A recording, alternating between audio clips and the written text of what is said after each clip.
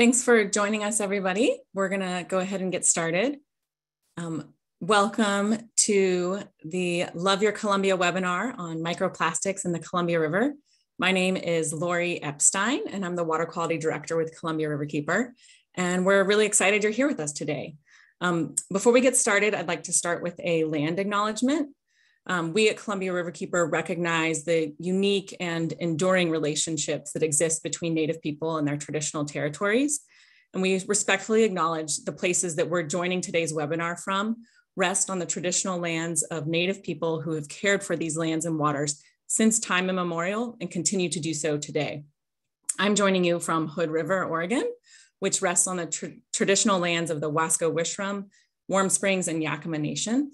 And I definitely encourage you to learn more about the Columbia Plateau tribes. You can check out the Tribal Nations websites or the Columbia River Intertribal Fish Commission website. Um, and I also would like to thank um, the Environmental Protection Agency today. Um, this webinar is part of Columbia Riverkeeper's Columbia Gorge Pollution Prevention Education and Outreach Project, which is funded by the EPA's Columbia River Basin Restoration Funding Assistance Program. It's a grants program for environmental protection and restoration programs throughout the Columbia River Basin um, that provides a framework for funding for toxics reduction, monitoring, and outreach actions. So thanks to the EPA for um, making today's event possible. And I should also say that um, while this webinar has been funded by the United States Environmental Protection Agency under the um, assistance agreement with Columbia Riverkeeper, the contents of this webinar do not necessarily reflect the views and policies of the Environmental Protection Agency. Um, a couple other housekeeping items. Um, we are, um, we'll be leaving some time for questions at the end of um, the webinar. So please just put those questions in the chat. You can put them in at at any time during the, the webinar, um, but we'll, we'll go through those at the end and we'll try to get to as many of them as we can. Um, and right now, I'd love for everybody to um, go ahead and open up the chat. And if you um, would be willing to, to type in where you're logging in from and what the weather's like there. I'm here in Hood River and it's dumping snow outside the window, which is really exciting. So I'd love to hear um, where folks are coming in from. And um, one other thank you is to um, Cora Ball. They're the makers of the microfiber catching laundry ball. And microfibers are the most common type of microplastics found in the Columbia. And they're shed from synthetic clothing like polyester and nylon and fleece. Um, and you all received a discount code. And then at the end of the webinar, we will also announce a lucky winner um, who will receive a free Cora Ball. So definitely stay, stay tuned for that. And I should also mention that the coupon code is good until December 31st. But if you were thinking about holiday gifts, the deadline for holiday shipping is tomorrow. So um, you might want to get on that if you're interested in that. Um, so now I'd like to introduce um, today's speaker. And um, today we have um, Kirsten Kapp. She is a researcher and professor of biological sciences at Central Wyoming College. We might all be familiar with images of plastic waste piled on beaches and bird carcasses full of undigested plastic. But her research focuses on microplastic pollution in freshwater ecosystems and includes a study on microplastic hotspots on the Snake and Columbia rivers. It's really exciting to have her here today, and her work is so important for the Columbia River much of the research that's happened on plastics has been on the marine environment. And while research on freshwater ecosystems um, has been increasing, it's still limited. So it's really cool to have such smart science and important research happening right here um, on the Columbia River. And we're just really lucky to have her in our watershed. So Kirsten, um, I appreciate you taking the time to speak with all of us today, and I will turn it over to you. Wonderful. Thank you so much, Lori. Let me go ahead and share my screen with everybody.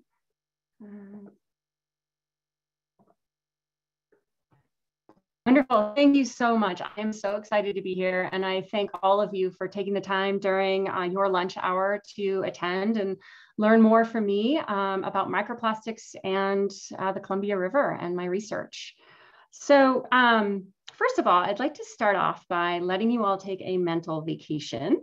Um, don't get too excited, it's not going to last long. I'm going to show you a number of different images of locations, and I want you to be yourself into that location, look around, and think about what each location that I put you in has in common. And then you, at the end, you can go ahead and write in the chat things that come to mind after I show you those um, different locations. So we'll start ahead with the first one here.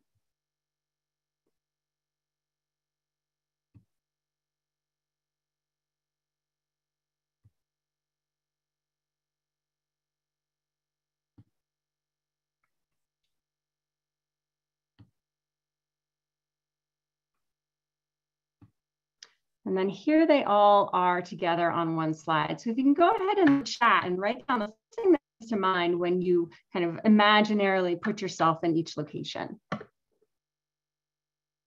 Or what these all have in common.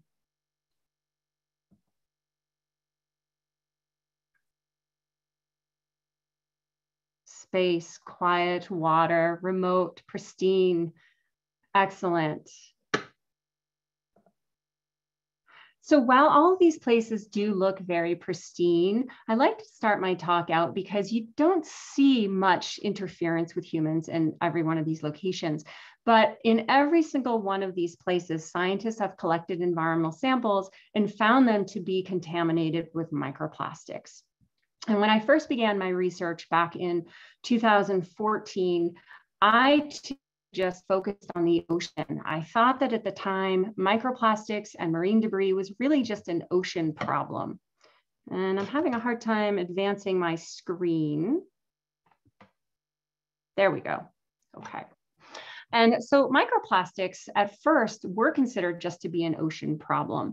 And this is a picture here of the Pacific Gyre, um, which we've heard again now in the news recently of the Great Pacific Garbage Patch um, providing habitat for certain organisms. And while you're in the Pacific Gyre, you might definitely see large accumulations of marine debris like you do on the lower right here. A majority of what we're finding are these confetti-like pieces of microplastics on the lower left. And that is what I study, are these tiny bits of microplastics. So in order to continue on and to learn more about this, we first have to talk about what microplastics are. So microplastics, as many of you may have heard about, um, are small plastic particles that really are classified as something smaller than five millimeters in size. So that's like smaller than a grain of rice or the top of a pencil with a pencil eraser. And microplastics come in a lot of different shapes and sizes. So in this image, you can see the variability in these microplastics and the size. So these are all placed on top of a ruler and each kind of um, space between the bars there is equivalent to one millimeter.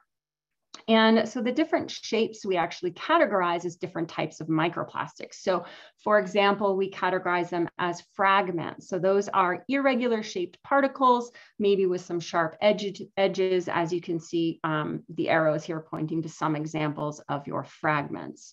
We also classify them as beads or granules or spheres. So these can be smooth surfaced uh, plastic particles or um, uh, polystyrene foam spheres are even more globular as well. A third classification then are films. So think like your plastic bag that's very thin and very flexible. Okay, that's another type of microplastics that we find in the environment. And then finally, the microfibers. And so microfibers can um, be larger, like fishing line or parts of um, disregarded fishing nets from the fishing industry, or can be thinner and smaller, like those microfibers that are shed from your clothing that Lori mentioned in her introduction. So they come in all different shapes and sizes. Now, where do they come from? So that's the important question, right? So we've been able to identify a number of different sources of microplastics um, that then are emitted into the environment. So one such source are the wastewater treatment facilities. And I'm sure you've all heard about this. It's been in the news headlines for quite some time now. And what um, wastewater treatment effluent and the microplastics that enter the environment are in this way are primarily bits of plastic that we wash down our drains. So for example, many personal hygiene products contain microplastic beads. Um, that's now kind of being phased out as we've realized that that's actually a problem, um, but they do still exist in many products. For example, body scrubs, because um, the microbeads work as like an exfoliant. In makeups, you might find microbeads in even some sunscreen. So they do, still do exist um, in some of these products. And then, of course, our clothing. So when we wash our clothing, um, microfibers are shed from them in the washing machine. And then if you're attached to the city water supply, they go down the drain, end up at the wastewater treatment facility. And while the wastewater treatment facilities um, are engineered to really clean our water for us, right? And they can be very effective up in the 90th percentile of filtering out microfibers when you're dealing with the numbers of microfibers that are shed from washing our clothes, there's still a percent that then can escape wastewater treatment facilities and end up directly entering in our waterways. So a number of different studies have looked at trying to estimate how many microfibers we're talking about. And if you all look at your sleeve, so um, I think folks in Portland, it's snowing or that area or raining, you're probably wearing a long sleeve shirt. Go ahead and just kind of look at the fibers on your shirt if you're wearing a, a, fleece, that's most likely polyester. If you're wearing a sweatshirt that's not fleece, it could be a blend like cotton, um, polyester, and nylon, for example.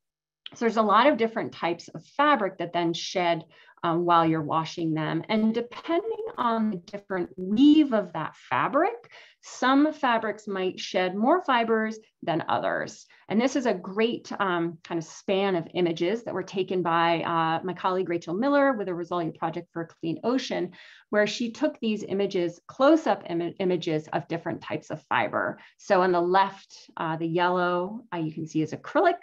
Uh, in the middle, we have polyester. And the third one over is your typical polyester fleece. We have neoprene for the surfers in the group. That's your wetsuit. So you can see that different weaves um, have different patterns and are more or less vulnerable to shedding in the wash.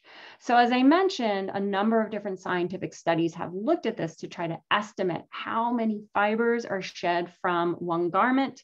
And one such figure is that there are 700,000 pieces of microfibers that are shed when you wash your clothes. Now, of course, this varies based on the temperature of your water, the type of detergent you use, the type of washing machine you have. So scientists have really been trying to pick apart the puzzle um, in that area um, to get down to the bottom of the source for microfibers in the environment. A second source that you might not think about as much are just industrial spills. And so if you have a 3D printer, for example, you might be very familiar with buying these plastic pellets, right? And a lot of our plastic products, before they're actually turned into our desirable product, are shipped around in these bags of tiny beads. And then we can pour these beads into a mold and make our product out of that. Now, sometimes spills happen, right? And these plastic um, pellets can re be released into the environment uh, that way. Another such source is simply runoff, right? So after a rain event, like you might be seeing this right now in Portland where it's raining, right? If there's litter on the pavement, it's going to get washed down the stormwater drain. And not all of these then end up a wastewater treatment facility. Um, so you can see a lot of fragments will run off the water that way and um, little fragments of tire and tire dust that many of you may have heard of um, in relation to the issue with coho salmon. Um, and then also we see runoff issues from our agricultural fields. So back to the wastewater treatment facility where we're settling out our waste, a lot of that waste kind of settles down to the bottom in the settlement ponds in the form of what we call biosolids or wastewater sludge. And we do apply wastewater treatment sludge to our agricultural crops. It's a great way to fertilize our soil and to recycle our own waste. However, the problem lurking in that sludge are the microplastics. And so studies are going on right now trying to calculate and figure out to what extent runoff from agricultural fields is then a source directly into our waterways. Kind of related to that is our mismanaged waste. So in our country, um, not like uh, third world countries where we're talking more exposed landfills, but primarily in our country, looking at litter as being mismanaged waste. And I'm sure you all have seen it. I hope that many of you have participated in local community cleanups. But right, if you see that flip flop or frisbee or Gatorade bottle on the sidewalk and it doesn't get picked up, that's going to degrade over time and that's also enhanced by UV light and mechanical action. Uh, for example, in fresh waters, where they freeze during the winter, you've got ice, the breaking up of the ice, the forming of the ice, and that can also um, expedite how these um, pieces of litter break into these tiny microplastic particles.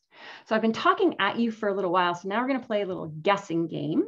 And um, I want you to look at this one liter plastic bottle and based on the surface area of that, imagine that in your mind. I want you to guess how many microplastics you think would form if this bottle were never cleaned up in a cleanup um, event. And you can go ahead and write your guesses in the chat.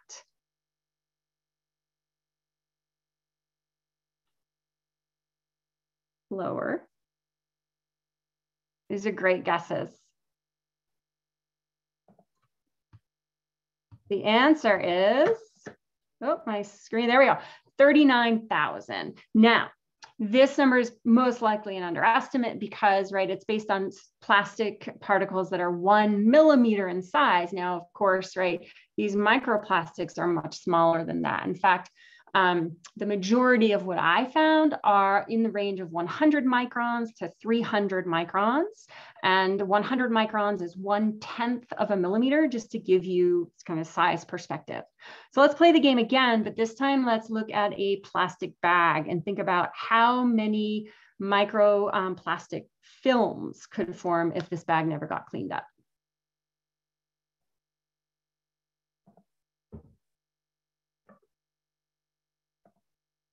And don't worry, you're not going to win a jar of microplastics like you would win a jar of jelly beans. But the answer for plastic bag then is 426,000 pieces, again, based on one millimeters. But it's a fun way to think about the impact that just mismanaged litter can have on the environment and how it is a source of microplastics in these waterways. And finally, um, a source that we are starting to learn more about is simply through atmospheric deposition.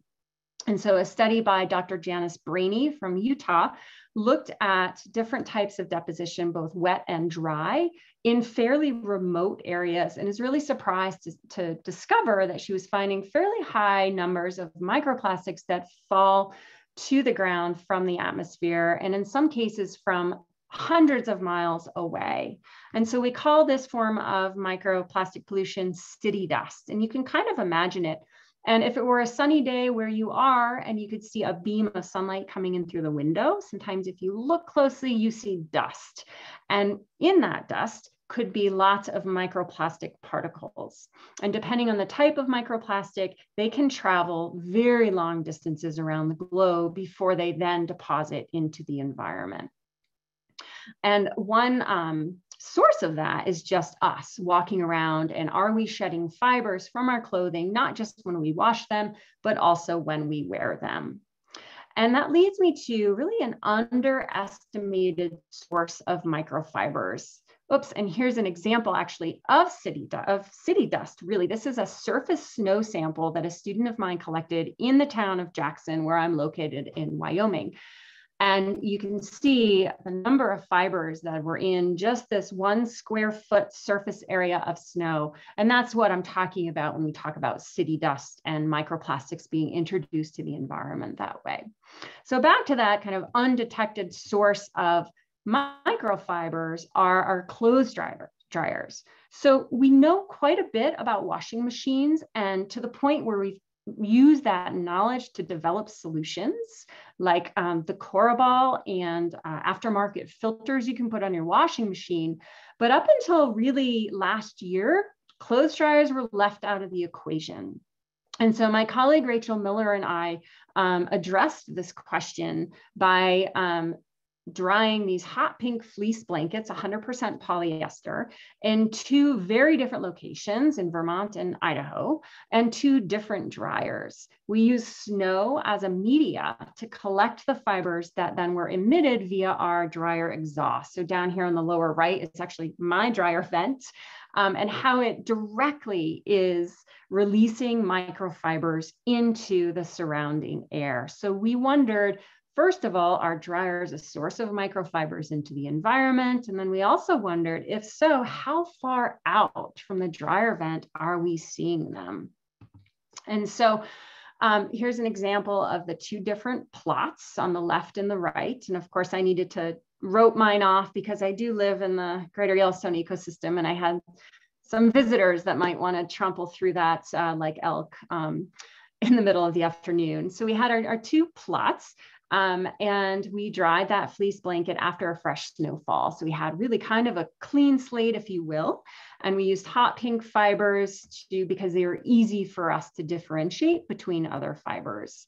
Of course, we did do this in the snow, but then we were able to overlay our results onto a drone shot of the Vermont location.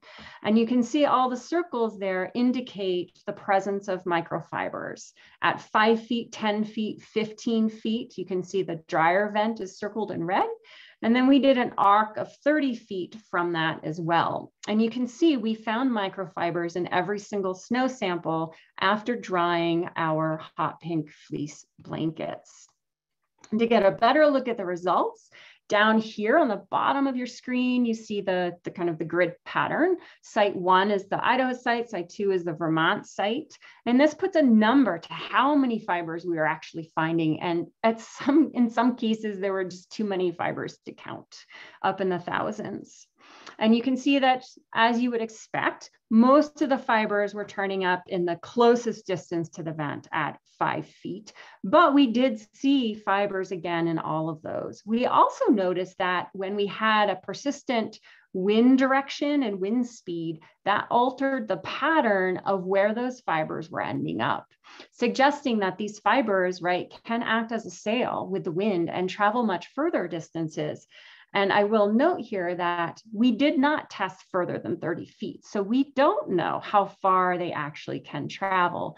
But we do know and, and can show based on this data that dryers need to be brought to the table as washing machines have. And we need to start looking at dryer design um, as a source of microfiber pollution, but also how we can alter our dryer design to reduce the amount of microfibers being released into the environment. The upper left here is just um, another part of the study where we put nylon bags, you can see down in the lower right here, onto our dryer vent so that we could actually collect everything that came out of the exhaust, not just at those select locations on the snow. And so that's what this is showing up on the upper right. Um, the uh, petri dishes on the left is the first dry, and we dried this blanket three different times. So you can also see, which is interesting, a reduction in the amount of fibers that were released over time. It'd be interesting to do this for even more cycles to see if the amount eventually leveled out or if it continued to decrease. And some of the washing machine studies have looked at things like that as well. And to give you an idea for the amount of lint that we were collecting coming out of the vent, if you hold three fingers up, that's about the width of those filter papers. So that gives you a, a good idea of the amount we're talking about. And it's important to note that both these dryers did have lint traps attached. So the lint traps are not as effective, perhaps, as we always thought at capturing the lint before it's um, released into the environment. So now that we know what microplastics are and where they come from, what's the big deal, right?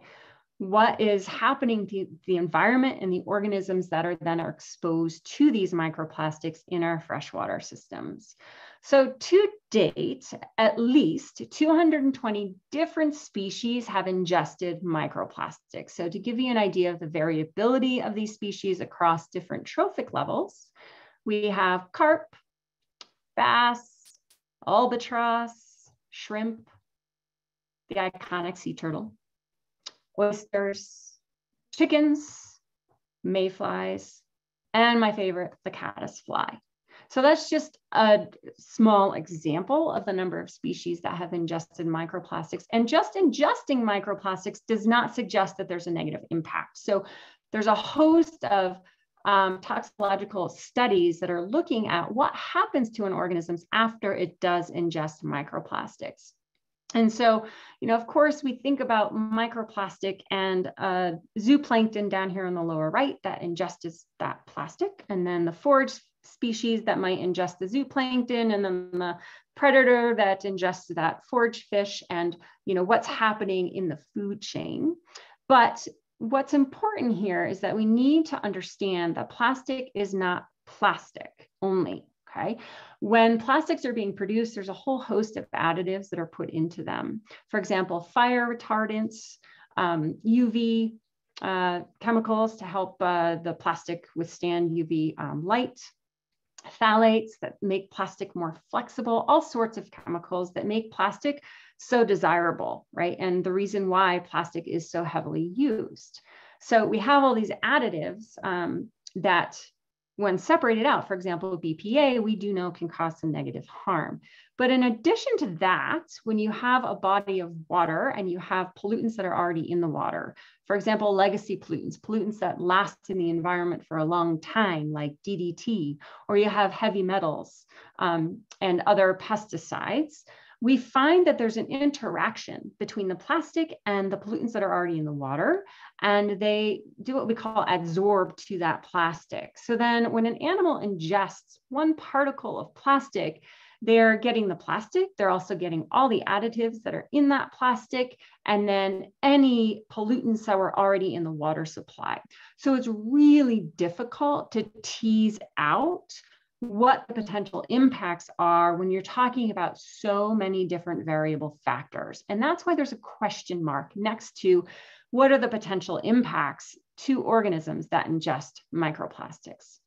And to kind of give you an idea of some of the laboratory studies that have been conducted on this, and to show you what type of impacts we're talking about, I'm going to show you a graph because I am a scientist and we like numbers and we like graphs. And this graph is actually really great. It's based on a review of the literature on toxicological studies on organisms that are exposed to different types of plastic. And so I'm going to help you kind of tease apart this graph. So at the top, you see a lot of different numbers. So 14, 9, 5, 10. Those are all the different studies that have investigated that type of plastic on a certain organism. So the type of plastic then is on the bottom. You see all the abbreviations. You got polyethylene, polystyrene, PVC, for example. And then underneath, you have the organisms or the type of organism. And I embellished it a little bit by putting some cartoon pictorials just because it makes it a little bit easier to read. Um, when you see the image of the crab, you think crustacean, for example. So then the colors indicate what are those impacts. So for example, the number one that you think about is lethal, right? Lethal, lethality and mortality. And you can see that, wow, when you look at fish, fish that were exposed to polyethylene, less than 10% of them actually resulted in death. But when you move over to look at crustacea across many different types of plastics, you see that rate go up. So there's variability in that. Another color we'll look at are the behavioral effects. So this might mean um, increased lethargy, okay? Um, less movement, reduced predator response, reduced feeding time, for example.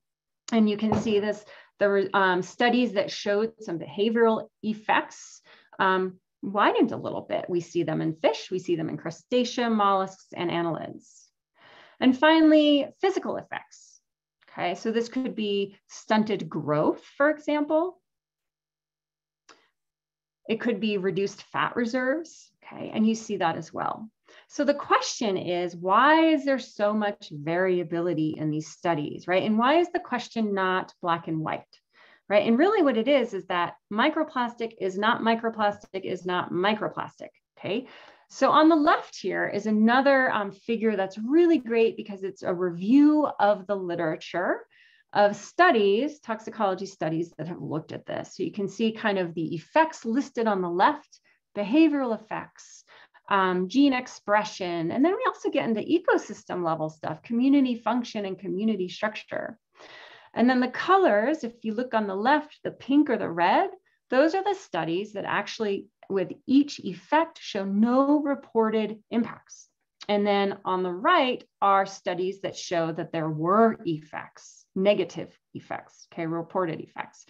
So it's almost 50 50. Look how they're mirrored. Okay. And this further complicates this question you know, what are the potential impacts? Well, it depends. And what it depends on is displayed over here on the right, where it could depend on the particle size, how big that particle was when they were exposed to those organisms, or the concentration.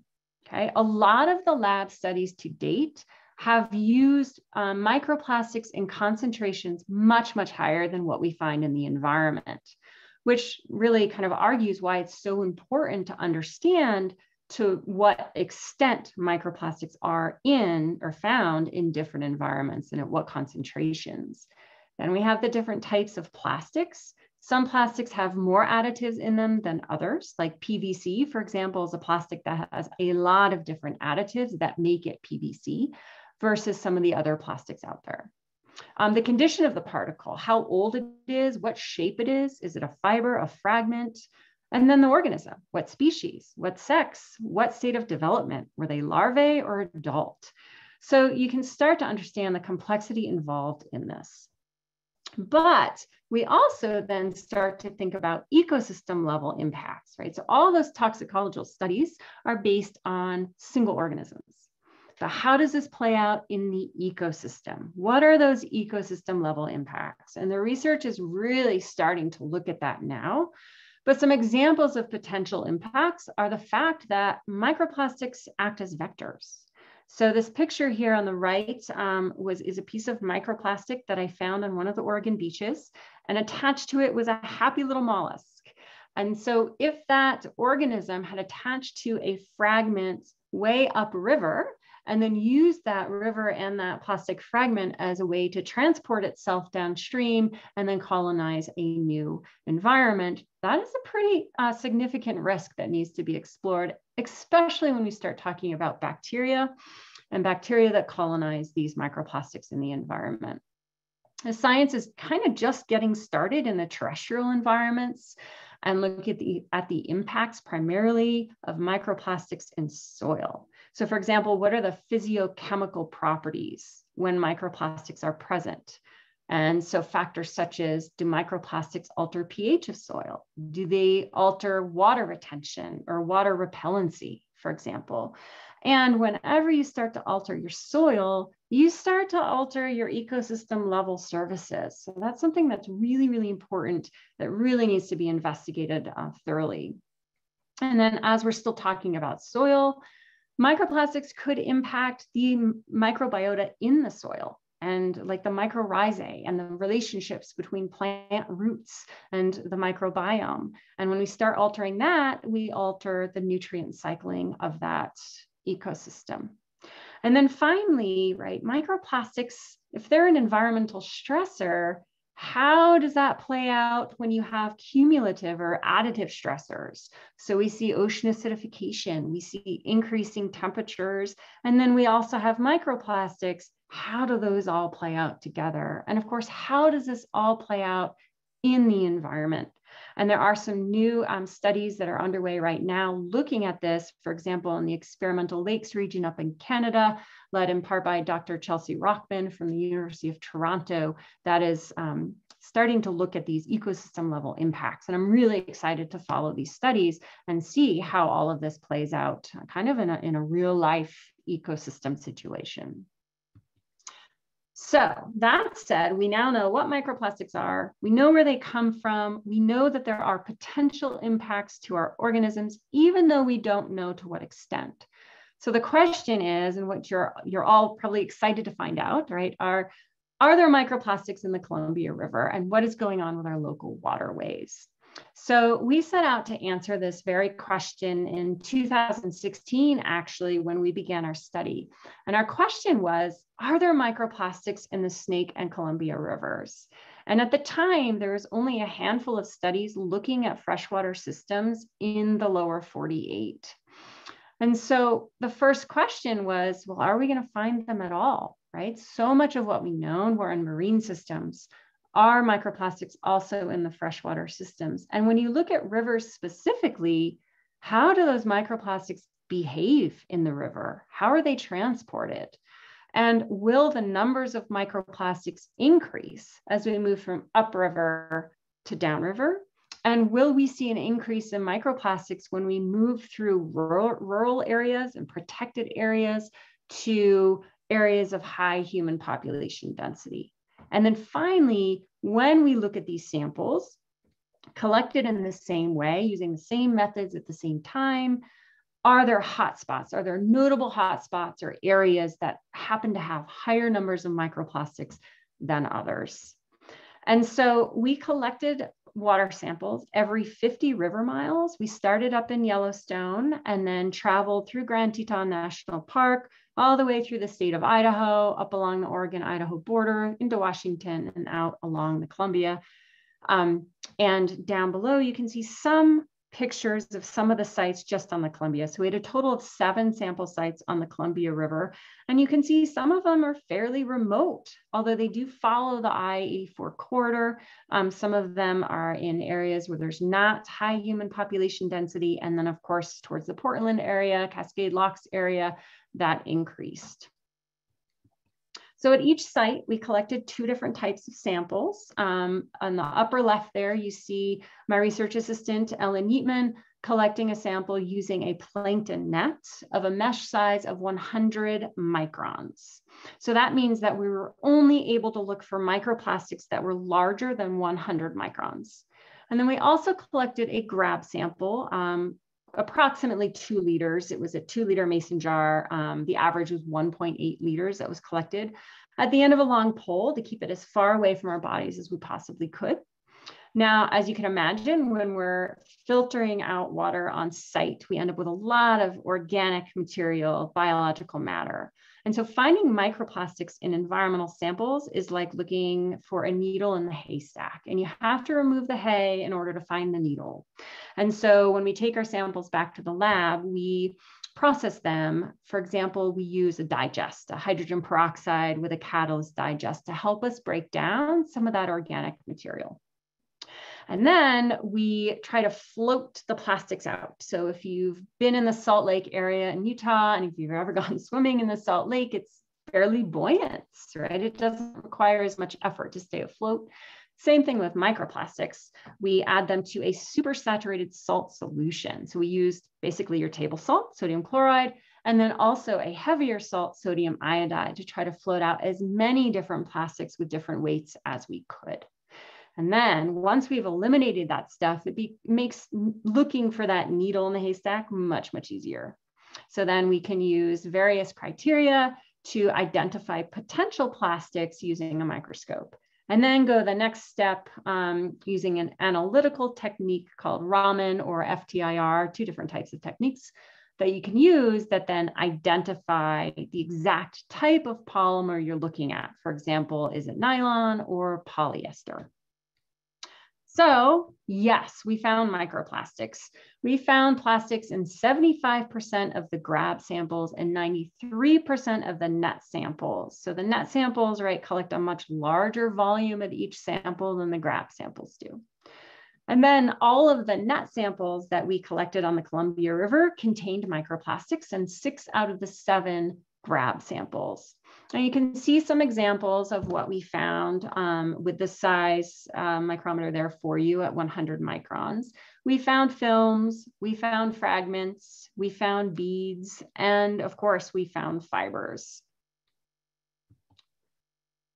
And to get a little bit more detailed on the upper right, we did find a correlation with the number of microplastics found uh, as we moved from the headwaters all the way out to the Columbia. And this pattern held true in just the Snake River and when we added the Columbia River samples as well. On the upper left, you can see a whole bunch of colors. And the orange indicates fibers. And the blue arrow down here points at site 20. So if you look only at the right side of that graph, those are the Columbia River samples. And it's very exciting. I've seen in the news that a new report was released by Environment Oregon, and they collected 30 different environmental samples throughout the state, and they found plastics in all of their samples as well, particularly fibers. So it is now well known that most environmental samples collected throughout the world, the most common type of plastic we find are the microfibers. So um, it's interesting to see a lot of comparabilities between these two different studies. And then down below is our kind of concentration map. So this is just for the net samples. The units are reported as microplastics per 1,000 liters. And so the larger the dot and the deeper the circle, the more microplastics we found.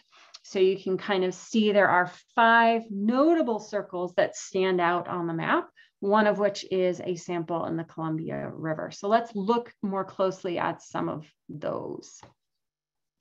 It's interesting that our hotspots existed, at least in the um, Idaho or the Snake River samples in areas where there was very little human population. So for, for example, in the upper left, we have Brownlee Reservoir. That is downriver from the city of Weiser, um, Idaho and Boise area, and also from the Magic Valley. So on the right, that map there, the top red circle on that map is the Brownlee Reservoir. And you can see that nice, rich green agricultural zone upriver from that. So one potential explanation for why we found the highest number of microplastics in this reservoir could potentially be the fact that it is downstream from heavy use agriculture where there is some biosolids application. Now that is just a hypothesis that has not been um, fully tested and experimented on. However, um, we are seeing more and more scientists look at agriculture and biosolid application as being a potential source for microplastics.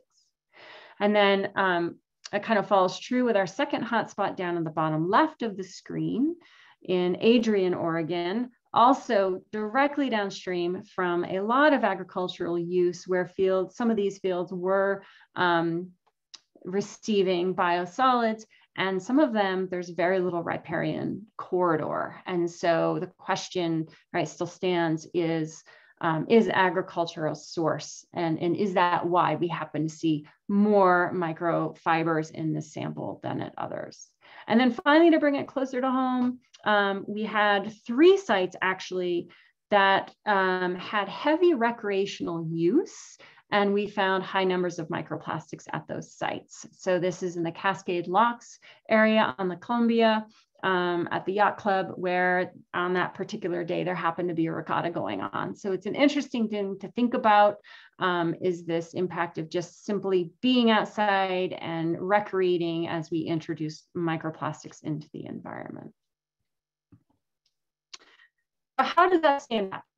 All this stuff, but what's the significance of that? Well, on average, the sites on the Columbia River um, showed an average of three microplastics per thousand liters, which is not significantly different from what we found in just our Snake River samples at 2.39. But it is higher than what a similar study showed in the Ottawa River of Canada lower than a study in the tributaries of the Great Lakes. They were finding on average four microplastics per thousand liters. And finally, it's interesting to think about the fact that it's comparable, right? These numbers are not outrageous. They're very complementary to what we're finding in other rivers and waterways, uh, freshwater rivers in the US. And so in a study that was going on at the exact same time on the Hudson River in New York, they looked at all anthropogenic fibers. So that includes cotton, cellulose, and plastic. And they found one fiber per liter. Whereas on the Columbia, we are averaging about one microfiber per liter. And that includes all, um, or sorry, that includes just the synthetic fibers. So there's some variability there, but still comparable.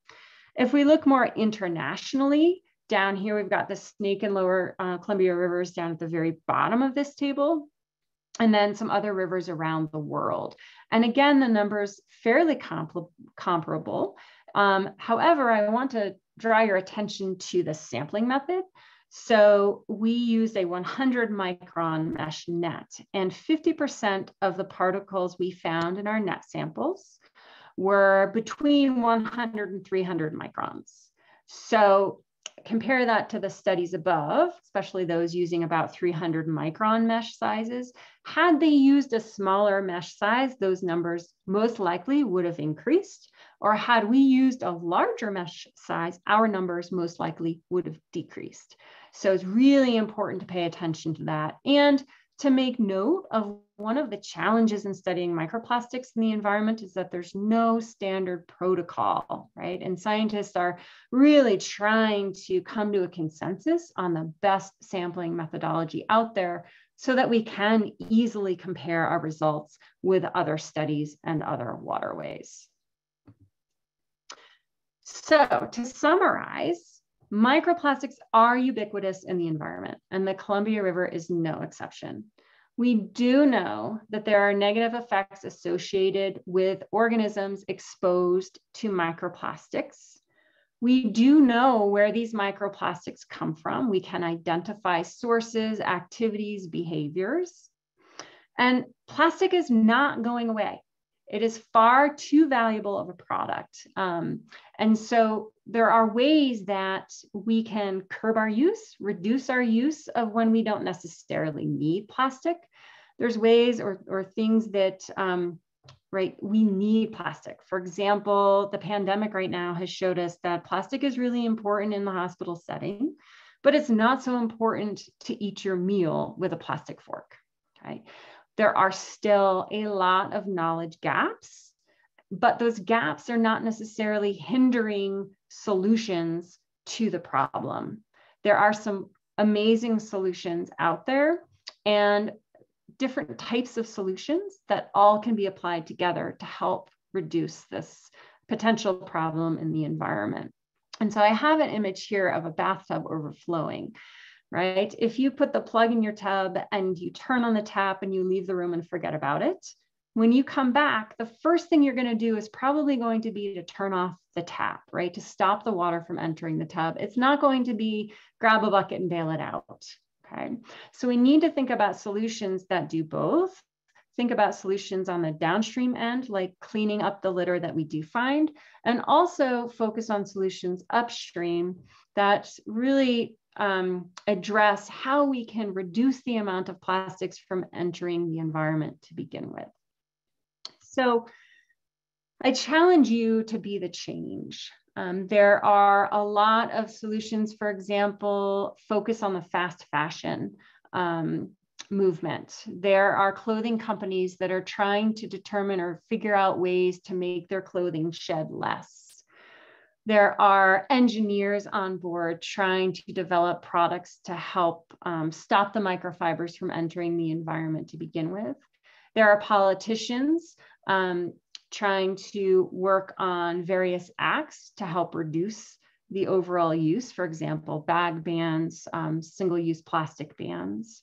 And then there are also just individuals like us that can make a change. So you can rethink your choices or rethink the way something happens. So for example, in the upper left, sure, you can stir your coffee with a plastic stir, but you can also just use a piece of pasta to stir your coffee. I find that to be a really creative and relatively affordable way to replace a single-use plastic with something else. You can buy or win a Cora Ball, for example. So my colleague Rachel Miller used her knowledge and her scientific research to design this Cora Ball designed after coral to try to filter out fibers that are in the washing machine. And independent lab studies have determined that it can be anywhere from 20 to 30% effective at removing fibers from the wash, which doesn't seem like a lot, but it's something, right? Um, and it's fantastic if you're a renter or you don't have a washing machine, you go to a laundromat, you can bring your Cora Ball with you, put it in the wash and reduce the amount of fibers released from your laundry. If you do own your home, Um, you can think about whether you want to install an aftermarket filter on your washing machine. Um, as long as you're willing to right, inspect that enough and remind yourself that you need to clean off the filter. Lab studies have shown that these aftermarket filters can be anywhere from 90% effective at removing um, fibers from your washing machine. And if you use the filter and the Cora Ball together, that's even a better increase in the amount of fibers you can remove. And then, of course, because we're nearing on the holidays and we're giving each other a lot of gifts, you can stop using wrapping paper that has a plastic coating on it and cannot be recycled. You can wrap your presents in fun, beautiful fabrics and then reuse that fabric wrapping. So there's a lot of different solutions out there. And I wanna do one more activity in the chat. And I'd love to hear some of your thoughts or solutions or things that you do that you think other people would benefit from. So let's just take a minute to think and share some of those solutions.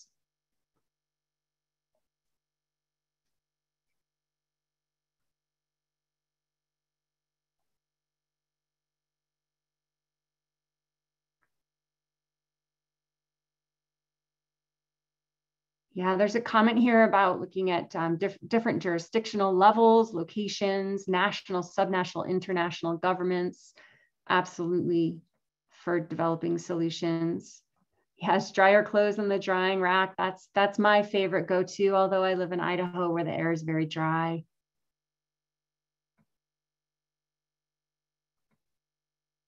Lots of great solutions. And so I want to close by bringing it back home to where we started. If we all could make one simple change to reduce the amount of microplastics we personally contribute to the environment, we can then revisit each of these locations and not see microplastics, not because we can't see them, but because they're not actually there. So thank you all for attending this webinar and sitting through and listening to me.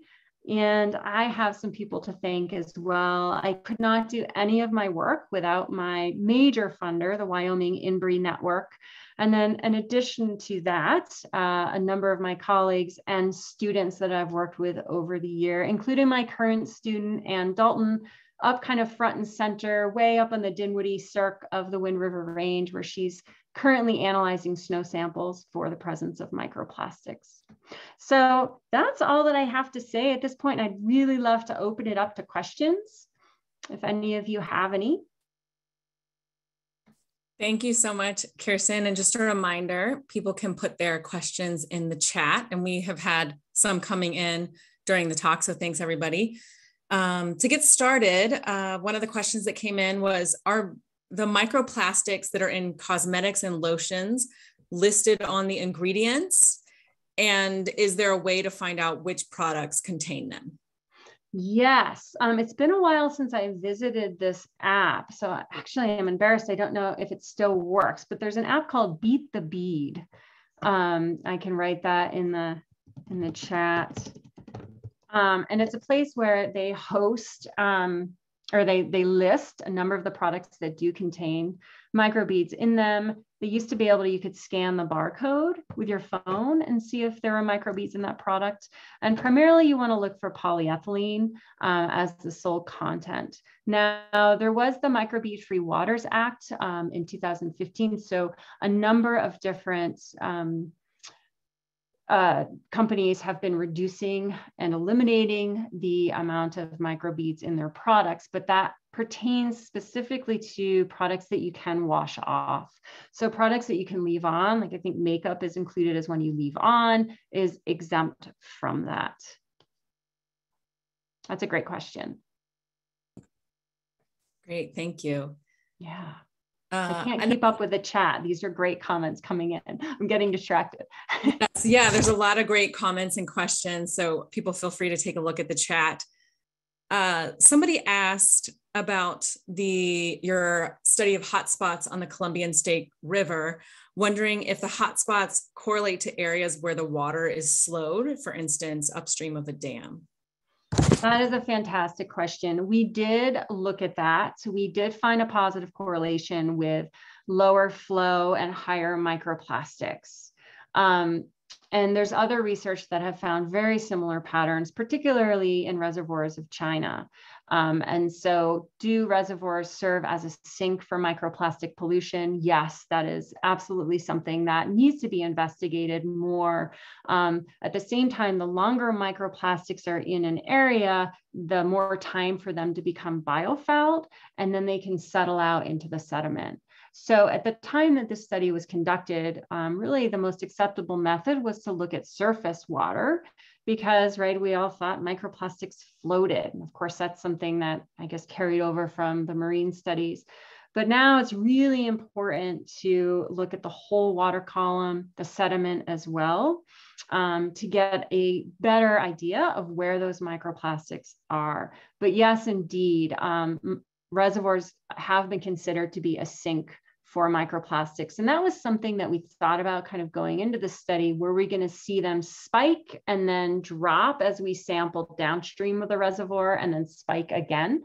Um, but the number of samples that we had for this study, even though there's quite a few throughout the whole length of the river, um, it would be interesting to do much more intensive sampling um, above a reservoir, in the reservoir, and downriver of the reservoir. Great, thank you. Yeah. Um, on the Columbia River, one of our biggest issues is temperature.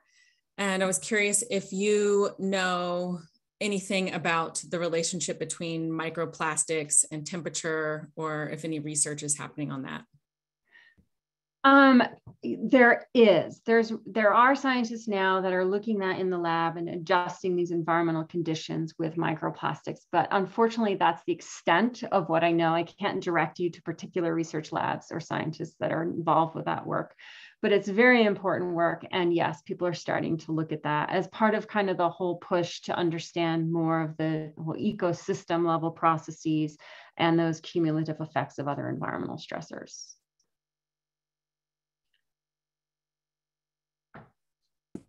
I think we've got time for a few more. Okay. Eric asked, what efforts have been made to quantify the amount of microplastics crossing out of the mouths of our rivers into the oceans?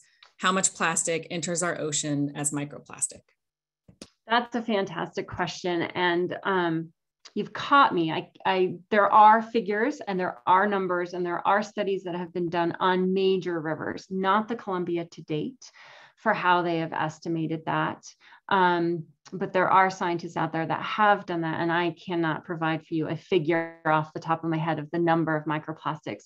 However, as we learn more, we do know that terrestrial environments and rivers are the major contributors to ocean plastics.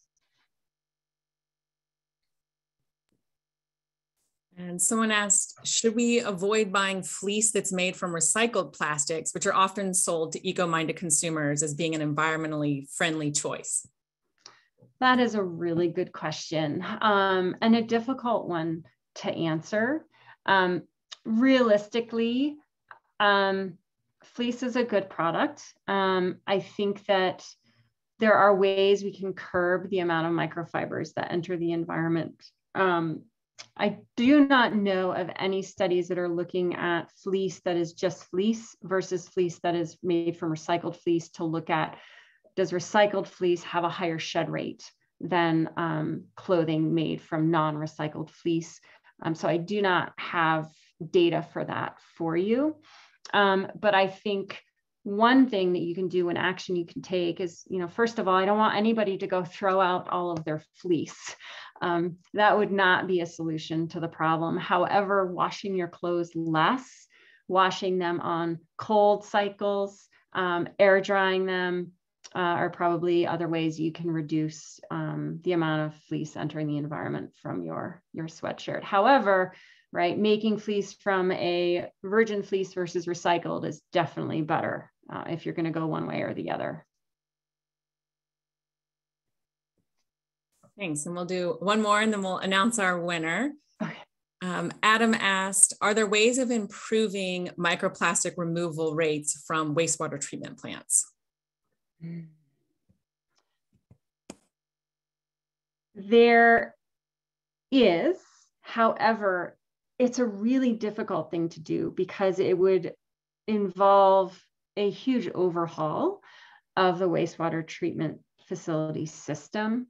Um, and then to filter water at that type of level, you know, whether or not we can actually do that. A lot of research is looking at bacteria species that have been known to um, degrade those microplastics, but, you know, how realistic is it to overhaul all of our wastewater treatment systems to incorporate this new type of technology at the point we're at now? No. Um, I think that would be a bit of a task, but it is important. That's definitely a solution that needs to be investigated, engineered, right? And perhaps when that wastewater treatment facility is planned or needed to be redesigned, that is definitely brought to the table. Great. Well, thank you so much. I think um, we got to a lot of the questions. There's still more coming in, but um, I really appreciate everyone's feedback. And I think that it's just evidence of, you know, this is an going to be an ongoing conversation. And, um, you know, the more we learn, learn about this topic, I think the more people want to get involved and, you know, figure out what we can do about it. Um, so I would love to announce our winner of the Cora Ball. Um, I did a random number generator of everybody who signed up and Trina Sherwood is our winner. So congratulations, Trina. I'll be sending you a Cora Ball microfiber laundry catching ball. Um, and I just also wanted to let everybody else know that um, as a follow-up to this webinar, we will be sending you an email that will include a recording of the webinar. So if you know someone else who wasn't able to, to attend today or someone who you think might be interested in this, please feel free to share that. Um, you know, we would love for, for this to, to get around. Um, and I just wanna say again, thank you so much to um, Kirsten for joining us today and for taking the time to speak to us. Um, it was really wonderful and super informative. Thank you. And thanks everybody for attending and taking the time out of your day to, to listen and to learn. And I apologize. There are so many chats coming in and wonderful comments and thoughts and questions. I, I appreciate all of that. And I really apologize if we couldn't answer your question here on the live webinar. Thank you.